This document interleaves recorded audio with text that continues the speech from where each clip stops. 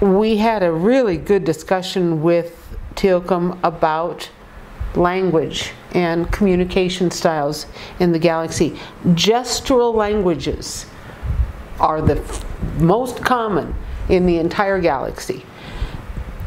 Telepathic languages or communication styles like the Ponti have are the second most common.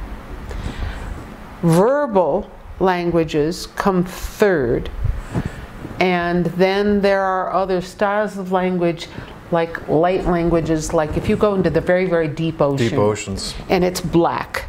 There are species there that light up their skin with bioluminescence in patterns and flashing that translate as a language like you or I might understand as words. There's like what vampire octopus is that what they're called? Mm, they're octopi. Octopi will and they and they can light up with their la- tentacles and communicate that way. There are some of the jellyfish species that can do that. There are some fish that have even um, danglies on long antennae like Yes. stru- um, structures that communicate that way.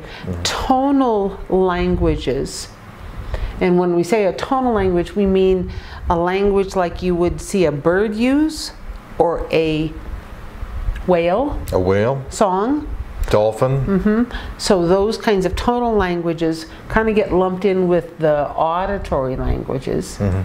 And then dance languages um, will get lumped in with the gestural languages. And what I mean by a dance language is, Birds uh, or bees. or bees. If you think about bees in a beehive, oh yes, if a- communicating to the to the hive where the the pollen is. Yeah, where's the next flower that's really great? Well, they'll do a dance, and that dance will be interpreted as you go this far in this direction and look for this, and there it is. Yes. And so that kind of communication to that. We've had fascinating, wonderful discussions about communication in this galaxy and amongst visitors to Earth, and it's fascinating to learn.